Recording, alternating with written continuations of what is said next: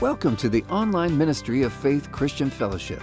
FCF is a dynamic word and spirit empowered church where faith and family meet.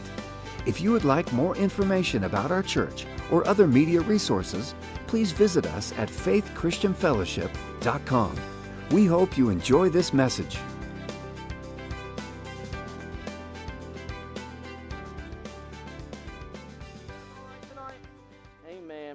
Well, turn your Bible tonight to 1 Samuel 17. We started a series last uh, started a series last week called Sticks and Stones, and uh, basically this this is a a, um, a, um, a message on covenant, and uh, you know I don't. It's just going to take a little while to kind of get through this. I believe it's real important that we understand what covenant is. Because if you don't understand covenant, you really don't understand the foundation of your faith. You got to understand covenant. So, so I want you to, to see some things as we move through. Uh, 1 Samuel 17, we'll jump in the mix here at verse 26. We know what's going on. David and Goliath and the army of Israel and the armies of the Philistines were encamped around basically uh, opposite each other. The valley of Elah was between them and you know Goliath came out. He's shouting, he's cursing, he's he's defying God, blaspheming God. David comes down on a bread and cheese run from his from his paw, uh, from his paw to come down and say, "Hey, go check out my bro- the brothers." Well, you know, it, it, was 40 days. I mean, you know what I'm saying? They've been doing this for 40 days. I'm sure the dad got kind of concerned. I mean, you know what I'm saying? Like they've been they don't ever really take this long, you know. But Israel's scared to death. They're hiding out in the camp. And uh, then we pick up the mix here in verse 26. Then David spoke to the men who stood by him, saying, What shall be done for the man who kills the Philistine and takes away the reproach from Israel? For who is this what? Uncircumcised Philistine that we that he should defy the armies of the living God. Verse 30, uh, verse 35. And I went out after it. He talking about here, talking about David said he went out after the, the lion and the bear. And I went out after it and struck it and delivered the lamb from its mouth. And when it arose against me, I caught it by its beard and struck and killed it. Your servant has killed both the lion and the bear, and this uncircumcised Philistine. Again, he tells, he says, uncircumcised Philistine will be like one of them, seeing he has defied the armies of the living God. Now let's skip down here to verse 40. Then he took his staff in his hand, and he chose for himself five smooth stones from the brook, and put them in a shepherd's bag in a pouch which he had, and his sling was in his hand, and he drew near to the Philistine. So the Philistine came and began drawing near to David, and the man who bore the shield went before him. When the Philistine looked about and saw David, he disdained him, for he was only a youth, ruddy and good looking. So the Philistine said to David, Am I a dog that you come to me with sticks? And the Philistine cursed David by his gods. And the Philistine said to David, Come to me, and I will give your flesh to the birds of the air and the beasts of the field. Then David said to the Philistine, You come to me with the sword and with the spear and with the javelin, but I come to you in the name of the Lord of hosts, the God of the armies of Israel, whom you have defied. This day the Lord will deliver you into my hand, and I will strike you and take your head from you. And this day I will give the carcasses of the camp of the Philistines, the birds of the air, and the wild beasts of the earth, and all the earth may know that that there is a God in Israel. Man, that's some strong words right there. Come on, that was some that was some good that's some, that's some good talk right there. That's some good right smacking down. I I'm going to tell you something. I love David because David actually was prophesying about how he was going to actually kill him. He had no sword in his hand. He had a stick and he had a, some stones. That's all he had. But he was prophesying, listen, I'm going to take your head off of you. I'm going to listen, I'm going to cut your head off. David talked, he talked Goliath to death. You know how you, you know how you destroy your mountains? You got to talk to him. You know how you're going to kill him? You know what your stones are? It's your tongue. It's your praise. Right? Your songs are your stones.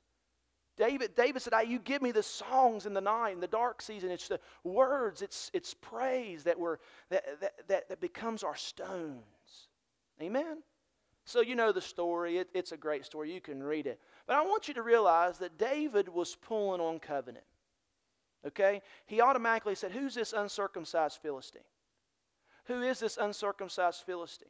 He said, This man don't have a covenant with God, and I got a covenant with God. He doesn't have a covenant with God. You guys got a covenant with God. What are you doing hiding out back here? So he pulled on covenant. Covenant is very, very, very powerful. Okay? It's very, very, very powerful, and we have to understand what covenant is. Now, God has a secret. In Psalm 25, I want you to put that up on the board there, real quick, from Melissa. It says this in Psalm 25 it says, The secret of the Lord is with those who fear him. Man, I tell you what, God has a secret. Isn't that cool? And He wants to share a secret. The word secret here, it actually means a very close companion. It's almost like someone leaning over and having a conversation. Actually, what it was, it was, it was someone that was brought, brought their friend into a tent and they were having just quiet conversation inside the tent. He was sharing, sharing intimate things, sharing secrets, sharing things together. It says the secret of the Lord is with those who fear him, and he will show them his what? Covenant. God wants to demonstrate to you and show you the covenant. Now, look what it says in the Amplified. I want you to see this. The secret of the sweet, satisfying companionship of the Lord have they who fear and reverence and worship Him. And He will show them His covenant and reveal to them its deep inner meaning. Deep inner meaning. You hear this word a lot in Christianity, guys. We got a covenant with God. We got a covenant with God. You got a covenant with the Lord. And we hear these things. God is a covenant God. He always, He always, He's always has a covenant, has kept covenant. Listen, the Bible says that Jesus was, was, was a lamb that was sacrificed before the foundation of the world. God has always revolved himself around covenant. So it behooves us as Christians to learn what it means to be in covenant with God. God has a secret. So, in the Western mindset, we don't understand covenant, okay? We really don't. So, but covenant is the operating system of God, it's His economy. God does all things through covenant. How can I pray and get answers? In the name of Jesus. Covenant. Uh, how, how is it that when I stand and rebuke the enemy, he flees from me? Covenant. How is it that I can pray for the sick and see him recover? Covenant. How is it I have inheritance of healing and prosperity and peace and blessings? How is that? Through covenant. Do you know the enemy? He listen, he don't want you to have an understanding of covenant. Do you get this? I mean, Abraham, and I'll show you this as we move forward. But Abraham, is over here in Genesis 15, he goes and, and, and, and God says, I want you to go and take some rams, I want you to take some turtle doves, I want you to prepare the sacrifice. And it says that Abraham was shooing away the birds away from the sacrifice. Before God put him to sleep, he was shooing the birds away. The bird here is, all, is, is a type of Satan. Satan knows if he can come and destroy covenant and an understanding of covenant, he's got you where you, he's got you. Am I making sense to you? So, so the devil doesn't want you to understand it. So it's the knowledge of covenant that our faith is rooted in. So, what is covenant? I talked about this last week. I'm just kind of getting us caught up. What is covenant? It means the word covenant means to cut till bleeding occurs. It means to cut till bleeding occurs. It means to bind together. It's a binding obligation, okay? It's an agreement between two people established in blood. It's established in blood. So, covenant, in the biblical sense, when we see it in Scripture, it implies much more than a contract or simple agreement. A contract always has an end date, while a covenant is a permanent agreement. Stay with me now. Another difference is that a contract generally involves only one part of a person such as a skill, while a covenant covers the person's entire being. Covenant is not negotiable, a contract can be negotiated. A contract can be negotiated. A covenant cannot. Contracts can be canceled. A covenant cannot. Contracts are easily broken because the promises are only as good as the character of the people that's signing the bottom of the contract. So a contract is not the same as covenant. Covenant is a binding blood agreement between two parties. Other definitions it's a blood bond broken only by death, made with a sacred oaths. It always has a company's oaths or terms with it. It's an unbreakable agreement. It's unending loyalty and faithfulness. It's complete union between two parties. I love this, in which all responsibilities, liabilities, and assets are held mutual. So, guess what? When I got born again and you got born again, you entered into a covenant with Almighty God through Jesus Christ, and you gave Him all your liabilities and received all of His assets. That's good gospel news. That's the good news. So, covenant is a, is a universal language. In the most primitive civilizations, you can go anywhere in the world and people have a concept of covenant. Today, in many, any uh, primitive uh, third world countries, they are still cutting covenant. They're still cutting covenant. Amen? So, in order for the secret to be revealed, we need to be covenant conscious. Now, go with me to Genesis chapter 15. You got to be covenant conscious. Say that with me. Say covenant conscious. You got to be covenant conscious. Genesis chapter 15. I told you we are going to go to Bible school, right? So we're going to go to Bible school, okay? So we're going to get into some things here, deep things, so it's going to be good. Amen. I don't want to be deep for the sake of just being deep, okay? That's not what I'm saying at all. I've got to fix this real quick. I'm sorry. I'm having a little problems. I got some world, uh, wardrobe malfunctions here. All right. Genesis chapter 15. Let's read here in verse 1. This is God coming to Abraham and making covenant with Abraham. After these things, the word of the Lord came to Abram in a vision, saying, Do not be afraid, Abram. I am your shield, your exceedingly great reward. Now, I ain't going to go into this tonight, but this is covenant language. Very much so. And I'll show you this as we move forward in this series. But Abraham said, Lord God, what will you give me, seeing I go childless, and the heir of my house is Eliezer of Damascus? Then Abraham said, Look, you have given me no offspring. Indeed, one born in my house is my heir. And behold, the word of the Lord came to him, saying, This one shall not be your heir, but the one who will come from your own body will be your heir. Then he brought him outside and said, Look now toward heaven and count the stars, if you're able to number them. And he said to them, So shall your descendants be. And he believed in the Lord, and it accounted to him for what? For righteousness. Understand something. Abraham believed God. He was a, he, he had faith. That's what the Jewish how did, how did the Jewish race, how did it begin? It began through faith. It began through faith. That's why Ishmael is not considered part of the seed of Abraham because he wasn't of faith. That's why Abraham is the father of faith because he believed God. Now let's move on here. Then he said to him, I am the Lord who brought you out of Ur of the Chaldeans to give you this land to inherit it. Now look what Abraham said in verse 8. He said, Lord God, how shall I what? How shall I be confident? Now, this is good, Lord. You're telling me all this stuff. That's awesome that you're telling me all this stuff. But how can I know? And the goodness of God kicks in. How should I know? How can I have confidence and complete trust that I will inherit it? Verse 9. What happened? Verse 9. So he said to him, What? Bring me a three year old heifer, a three year old female goat, a three year old ram, a turtle dove, and a young pigeon. Now, what, what, is, what is going on here? What's being said? Covenant. Isn't it amazing that God didn't have to tell Abraham? If you go and read on the next one, go to verse 10. We could just go to verse 10 real quick. Then he brought all these to him, and he cut them in two pieces down the middle and placed each piece opposite the other, but he did not cut the birds in two. How did he know that? How did he? God didn't give him instructions on how to cut a covenant. He didn't instruct him anything about this covenant. He just knew to do it. Why? He came from a place, a, all primitive uh, of uh, civilizations knew what covenant was. Why? Because God, it's God is the originator of covenant. Now, now listen to me now. So, so Abraham, Abram says, okay, God, I, I want to know. I want to know that all this is true. So what's God do?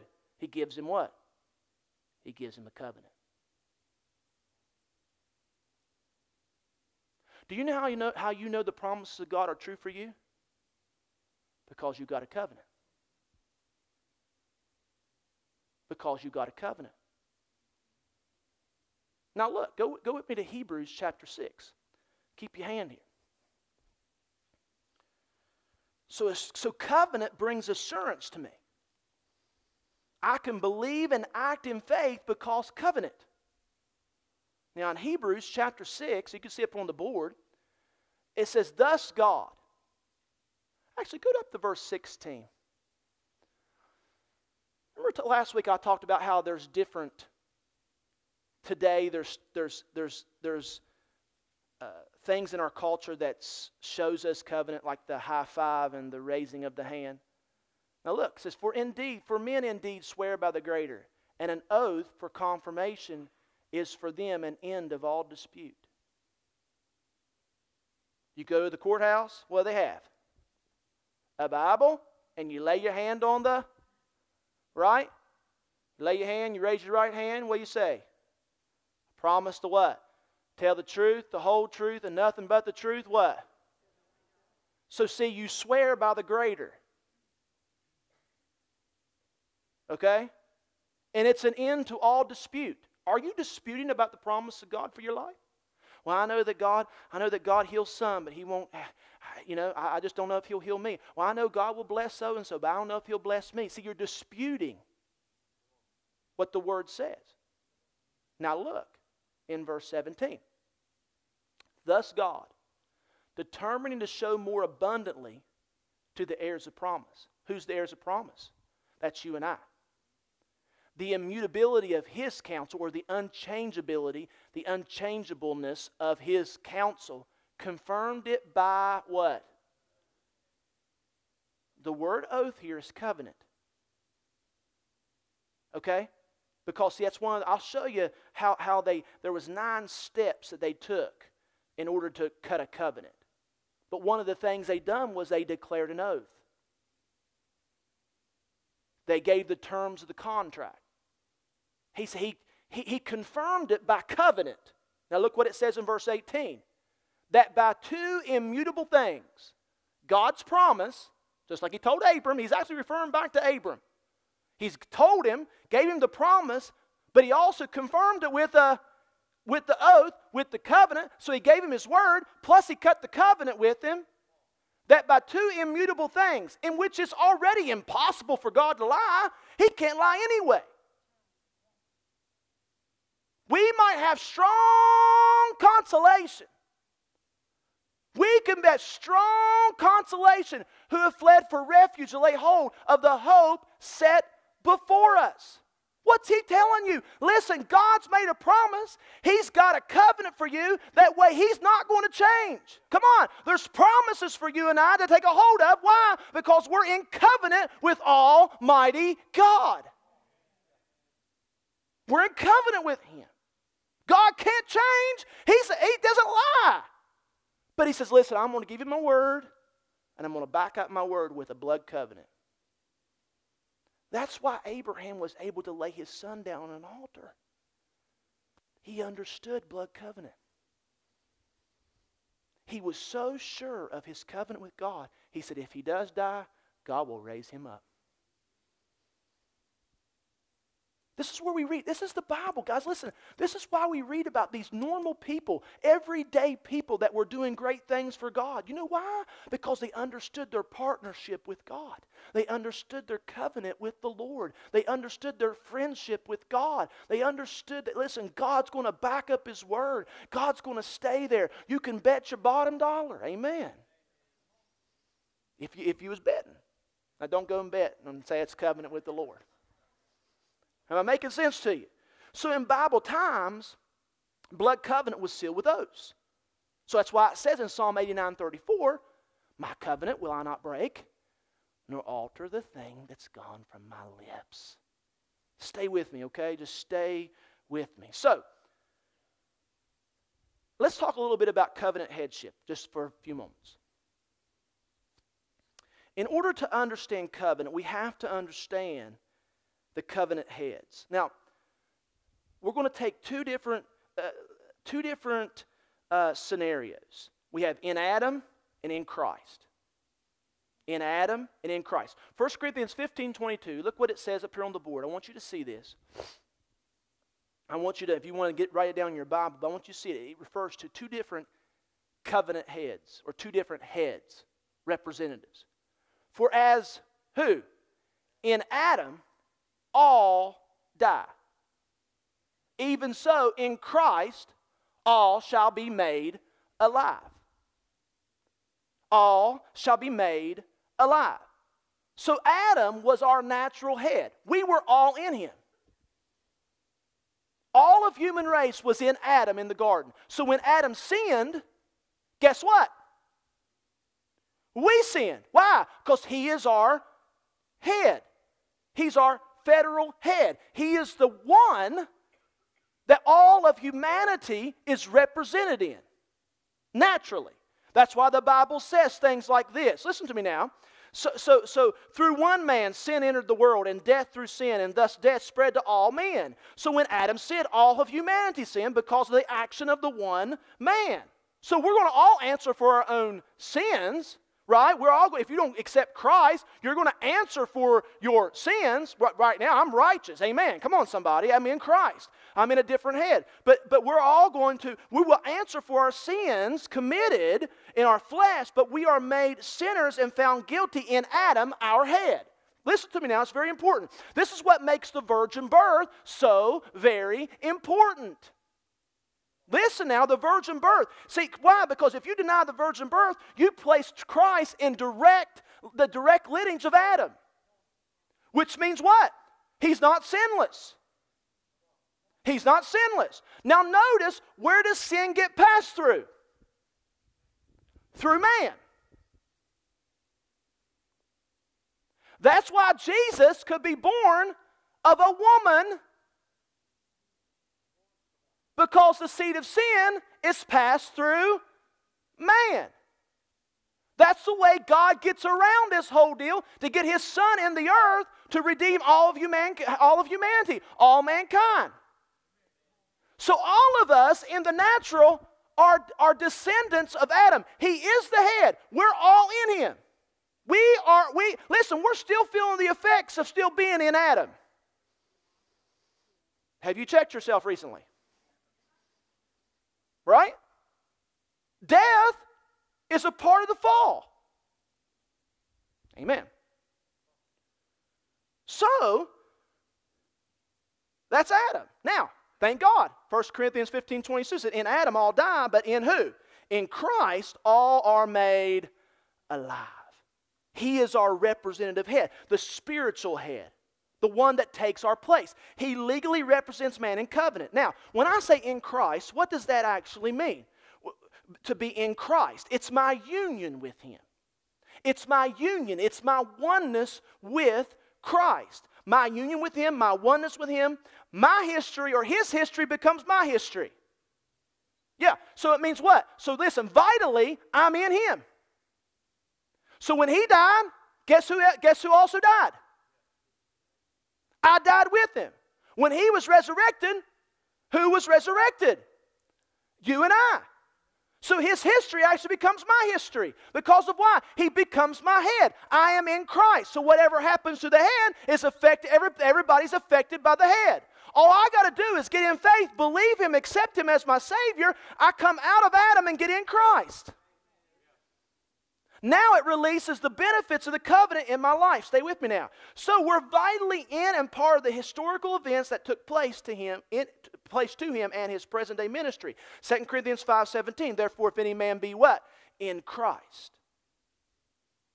Your head. Your head.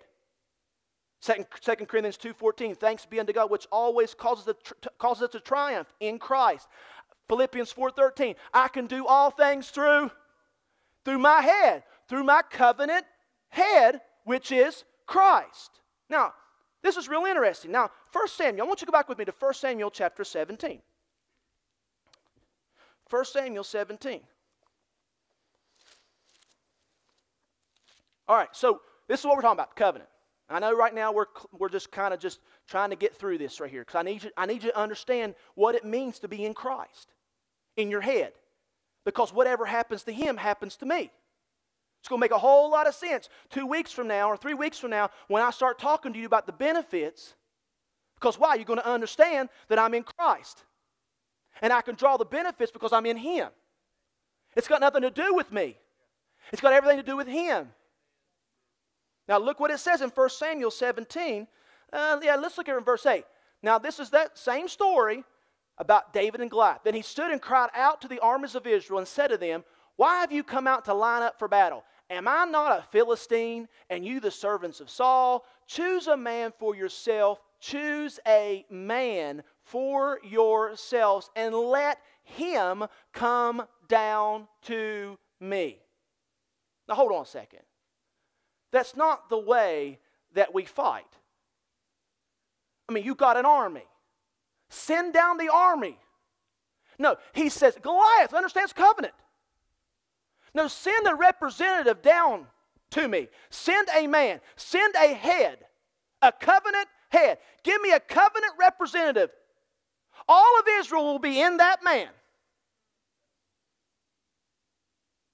And all the Philistines are going to be in me. Listen, this battle's going to be won not by everybody else, but by two people coming and fighting.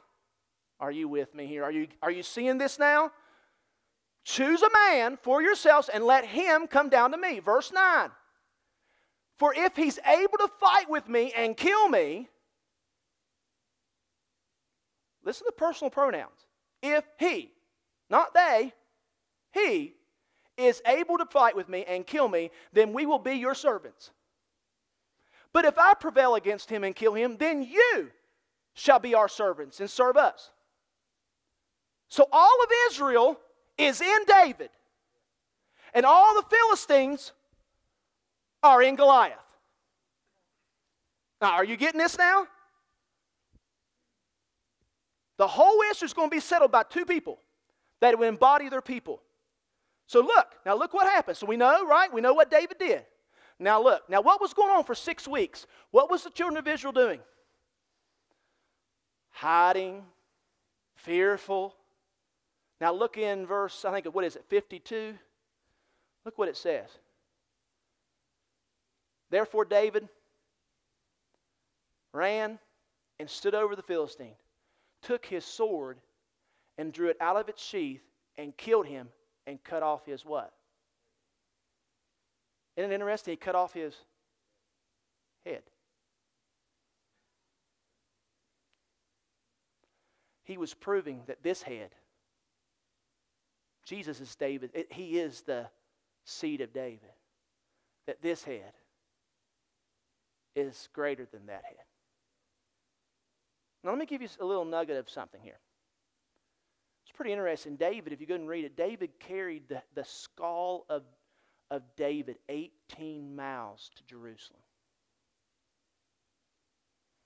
Now, 18 miles. We, we, don't have cars. We don't we'll put that in the back of the trunk, you know what I'm saying? And we'll, you know what I mean, put it on ice. I don't know what they did, right? I mean, I mean, this is 18 miles. How many days did it take him to go 18 miles? I don't know, all day. I mean, you, I mean, you go and you have something blood, a bloody head. Could you imagine just carrying this thing? I love the Bible, man. This is awesome. This is some great stuff. And he's like, yes, glory to God. Carrying that thing. He takes it to Jerusalem. Hmm. Where was Jesus crucified? On a hill, and it was called what? Golgotha. Well, whose head did he have? Goliath. Where was he from? Gath. Could it be, could it be, could it be that God in his great majesty because the Bible says in Matthew 27 that Jesus was crucified not at the place of the skulls, but at the place of a skull. Could it be God in his great plan that the, that the very tree, the cross, was going to be lowered right down on top of the head? Come on, somebody. Because one of the things they done in covenant, at the very end, they planted a tree and they sprinkled blood on the tree. Come on, somebody. You seeing this symbolism? I mean, I, I, I, don't know. I can't prove that, but it's awful fishy. And it's just like God. Wouldn't it be less like God, like laughing? Because the Bible says in Genesis 3, when he began to pronounce about all this stuff, when Adam sinned, he said, Listen, now I'm going to send the seed of a woman, right? The seed of a woman, not the seed of man, because the seed of sin has passed through man. He said, The way I'm going to get around all this stuff, he said, I'm going to get this thing, I'm going to get inside of a virgin womb. I'm going to birth the sinless man. He's going to walk this earth sinless. He's going to be the final substitute and sacrifice for all of humanity, for all of sin. And he said, Listen, this seed of the woman's going to come, and that seed is going to bruise. You're, you're going, that seed's going to crush your head, and you will bruise his heel. Oh, come on, somebody. Could it be not like God to put that David carrying 18 miles back to Jerusalem, plants it in the ground, not even knowing what he's doing, but God knowing there's going to be a tree uh, planted there, that his son was going to lay, down his life as a sacrifice and covenant. He's going to plant a tree, and that blood was going to run down and going to land right on top of the head of the serpent of the enemy. Because, see, Goliath, uh, listen, Goliath Goliath, Satan is always a, he perverts things. He's not a creator. So the Bible says in Genesis 3 that I, am going to, God said, I'm going to send a seed. So all of a sudden now, Satan says, Well, I'm going to send a seed. Well, where's the seed? I believe the seed of the serpent was the giants. The giants, the race of giants started by the fallen. I don't want to go into this. This, this, the, the giants came according to Genesis chapter 6, and there's another scripture too. There was two different eruptions of fallen angels. And they come down and mingled with the daughters of men and produced a race of giants. That was Satan's seed. David completely evacuated the land of all the giants. Who was in David? Who was in David? The seed of the woman. Am I making sense to you? I'm talking about covenant. Because all of Israel was inside David. Now let's look. Go back here now. Look what happened. Six weeks hiding out. Right? Six weeks. Now the men of Israel and Judah rose and shouted and pursued the Philistines as far as the entrance of the valley. We'll actually go back to verse 51. Therefore David ran over the Philistine. I just love this. We just read it again. It's just all good again. Took his sword and drew it out of its sheath and killed him and cut off his head with it. And when the Philistines saw that their, their champion, their representative, their head, their covenant head, their covenant representative, the man they sent down, was dead, what happened? They fled. Now look what happened. Yeah, you, me and you be doing this right here.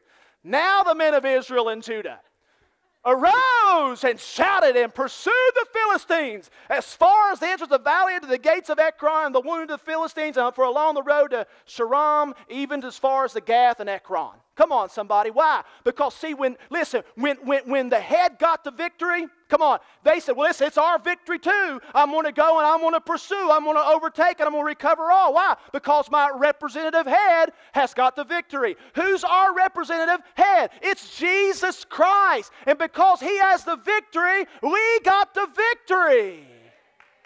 Am I making sense to you? Are you seeing this? Boy, it's 10 after 7. Praise the Lord.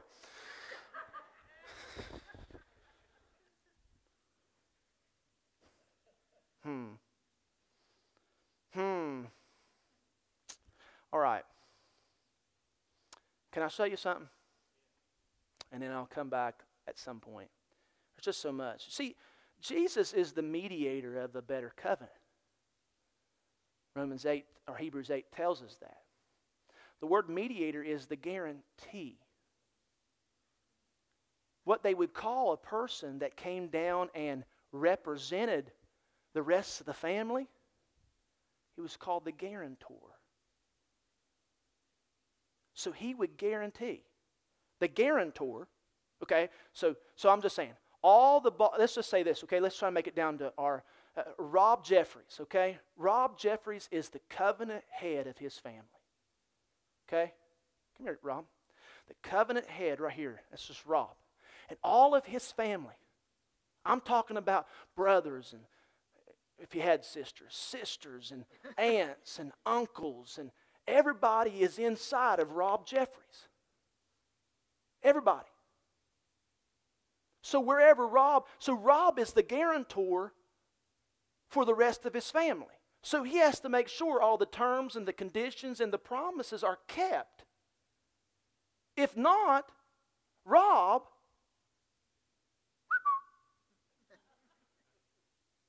he's subject to death because he's not, he's not keeping up with his end of the bargain. Am I making sense here? So listen.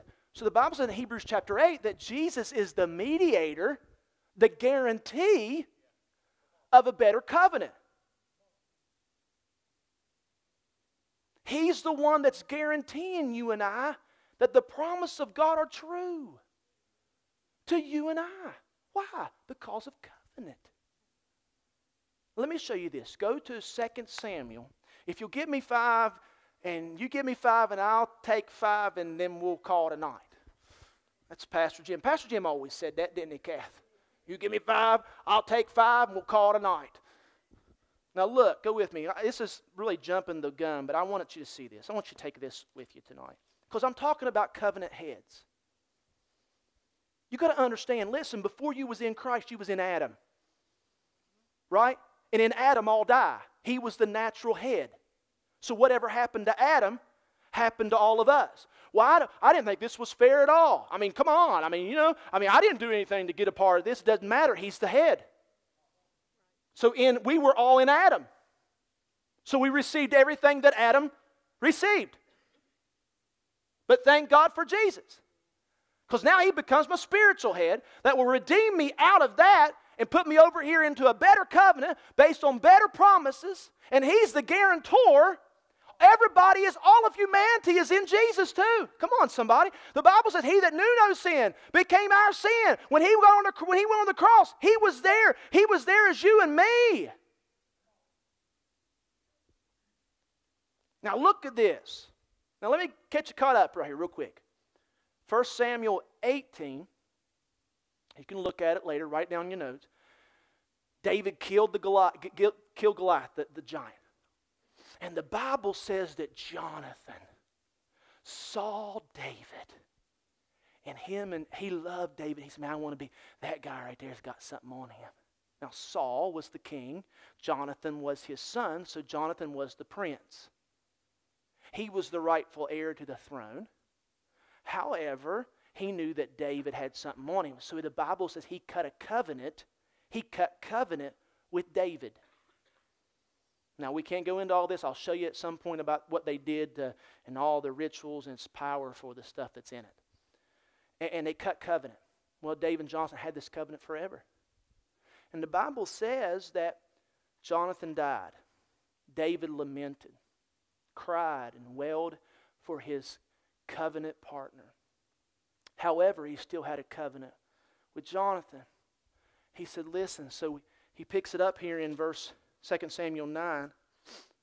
We know that first, first and foremost, 2 Corinthians or 2, 2 Samuel, to say 2 Chronicles, 2 Samuel 4, that Jonathan had a son. His name was Mephibosheth. His name was Mephibosheth. Now, what had happened, Saul hated David, hated him chucking javelins at him. Hated him. Saul was a madman. He hated David. So poor Mephibosheth, I mean, if you're growing up in a home, even though Jonathan was his dad, Grandpa still had influence. He was the king. So all he heard was how bad David was, and David wants the throne, and, and David's he's going to kill you, boy, if he ever finds you. And, and don't you ever listen, if you ever see him, you make sure you run from David. You get away from David. You make sure you have somebody carry you away from David. So, David, after Jonathan dies, David says, Listen, is there not someone else left of the house of Jonathan, the house of Saul, that I could show kindness to? Let's pick it up right here in verse 1. Now David said, Is there still anyone who is left of the house of Saul that I may show him kindness for Jonathan's sake? For whose sake?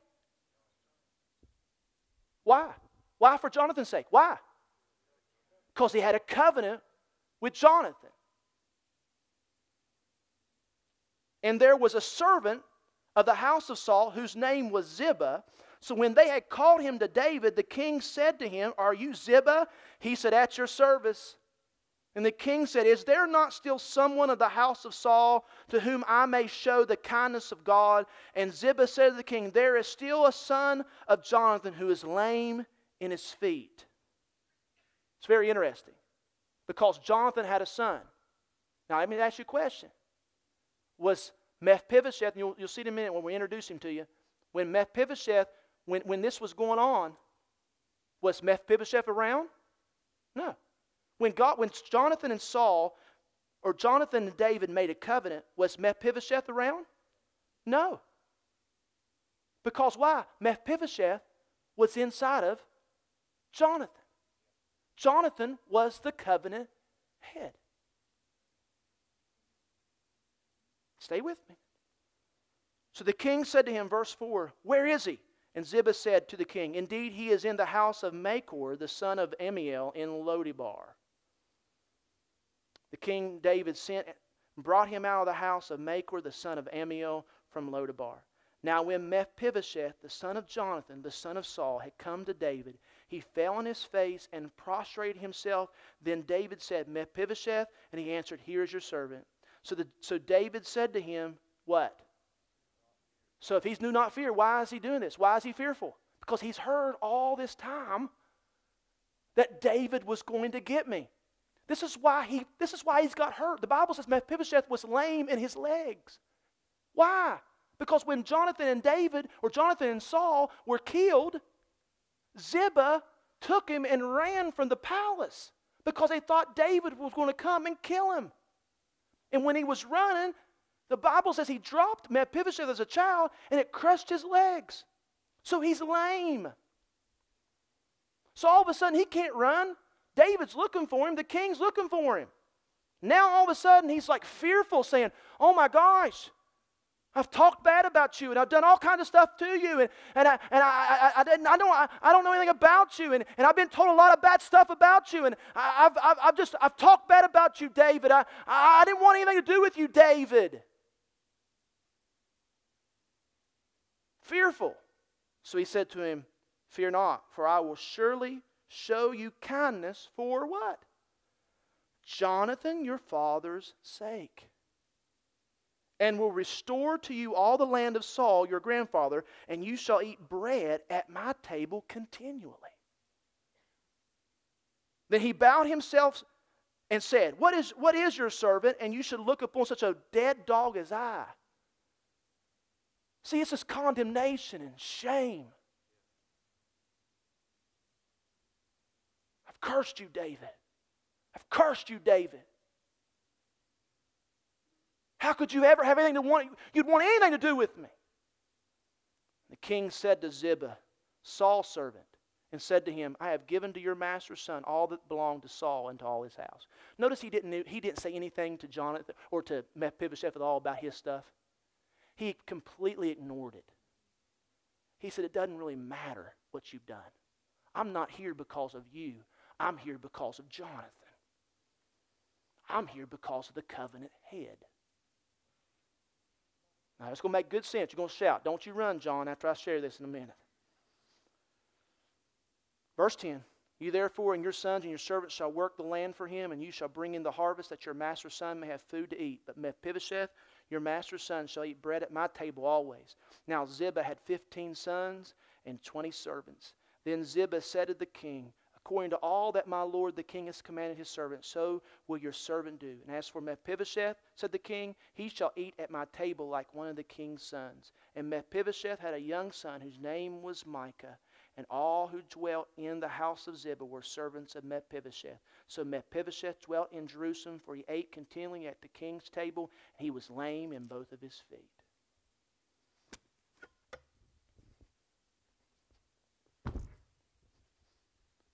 He was sitting here. lame. Now listen. There's three people in this story that's talked about. Four.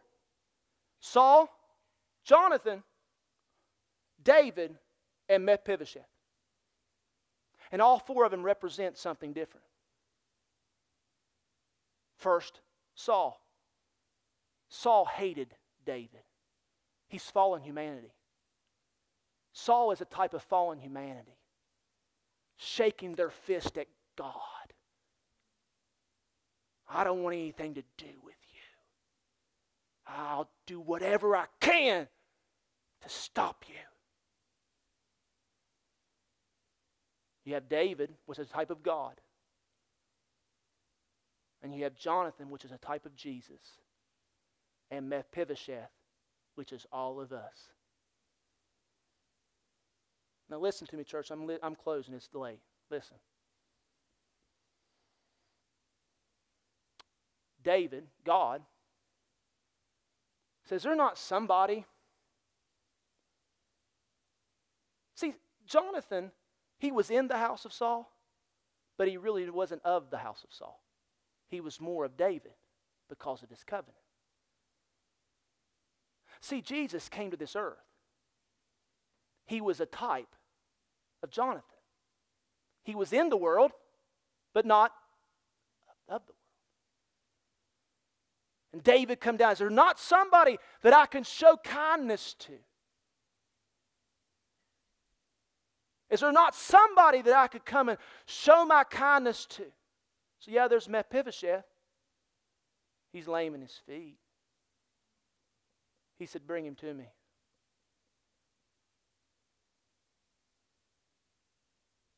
God has a covenant with Jesus. And you and I are lame in our feet. However, we're all inside of our covenant head. We're inside of Christ. Notice he's lame in his feet. There's nothing that, that Mephibosheth could ever do to make himself to do anything. It's not about you. It's about Jesus. If you notice at the very end of the, at the chapter, what did it say? At the very end. So Mephibosheth dwelt in Jerusalem, for he ate continually at the king's table, and he was lame in both of his feet. Which means what? He started out lame. He's going to continue to be lame, which means this. It's not telling you that you're going to be lame per se, you don't have covenant rights. It's saying this you can never do anything to get it. You'll never be able to do anything good enough to keep it. Are you with me? Mephibosheth is you and I. And we are inside of our covenant head. We're in Christ. And notice, when we get underneath the table, nobody sees the brokenness anymore. Don't see the brokenness anymore. Is that Leeland sings that song right? Carried to the table seated where I don't belong, seated at the table, swept away by his love, something like that. And, he, and I don't see my brokenness anymore because I'm seated at the table of the Lord. Are you with me, church? Are you understand what I'm saying? Because, see, listen, you are in Christ. You are in Christ. And you and I have benefits that you and I can draw from. How could God ever love me? I've, I've shook my fist at him. I'm just an old dog. What did David do? He paid no mind to that. He said, I'm not here because of you anyway. I'm here because of your covenant head. I'm going to be good to you because, not because of what you can do, I'm going to be good to you because Jesus is good. I'm going to be good to you because I have a covenant with, all, with, with, with my son Jesus. And because of that, Come on, eat at my table forever. Said he ate at the table of the king continually. Come on, somebody. You got it? Are you understanding this? It's not about what you can do. I said it's not about what you can do. Quit working to try to get something that already belongs to you. You say, Well, how do I get it? You raise your hands to God. Come on, everybody stand to your feet tonight and let's just raise our hands to God and you say, Father, I thank you for covenant.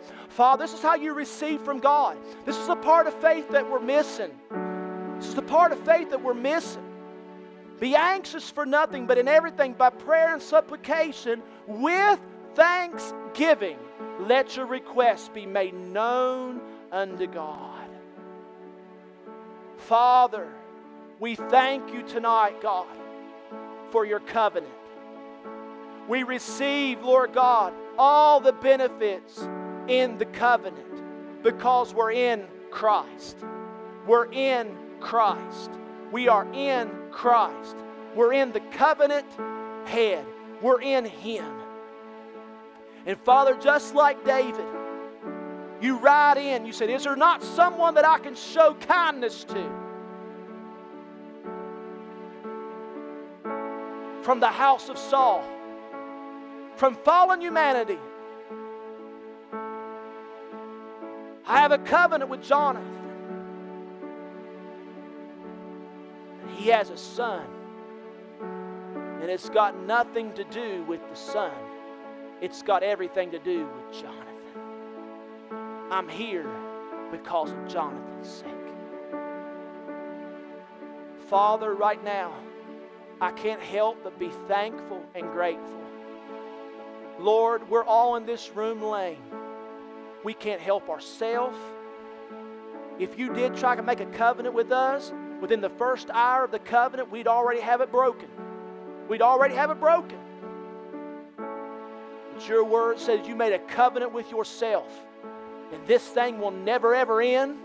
It will never die. The one way the covenant, Father God, is broken is by death, by someone dying. But Lord Jesus, you are alive and you will never die. And you, Lord God, are the covenant head, Jesus, and we're in you. We're in you. There's nothing we can do to get you to love us more. We receive right now by faith, just like Abraham.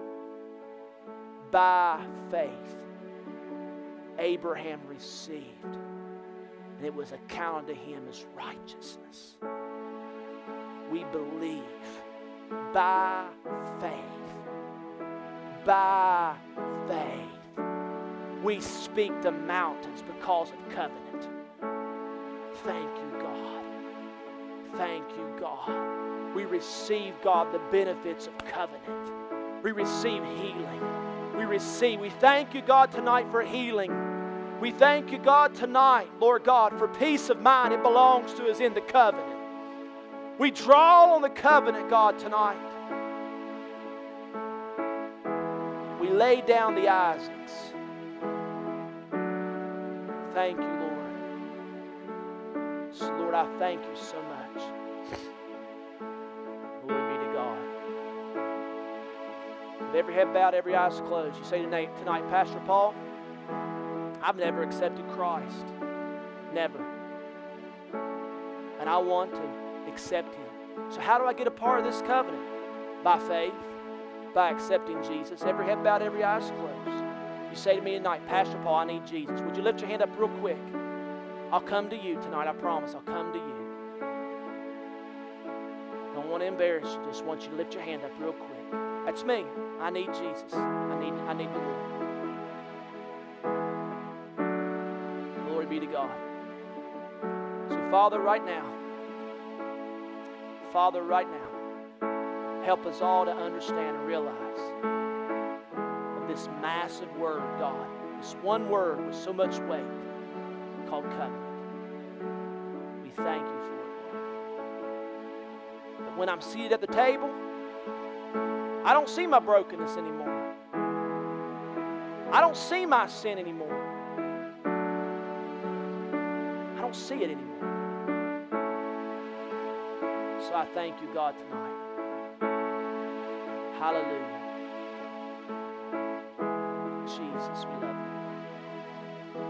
Glory be to God. In Jesus' name.